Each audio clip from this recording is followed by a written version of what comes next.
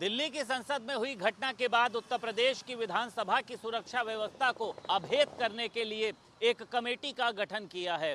इस समय हम विधानसभा के सामने मौजूद हैं और यहाँ पर आसपास पुलिस की सुरक्षा व्यवस्था को भी बढ़ाया गया। आप देख सकते हैं कि तमाम पुलिस फोर्स यहाँ पर मौजूद है जो आने जाने वालों के बैग चेक कर रहा है और उनसे ये पूछताछ करने की कोशिश कर रहा है। आप देख सकते हैं तमाम पुलिस बल यहाँ पर मौजूद है। और अब विधानसभा की सुरक्षा को अभेद किया जा रहा है कि कोई भी व्यक्ति वांछित सामग्री लेकर विधानसभा के अंदर ना जा पाए।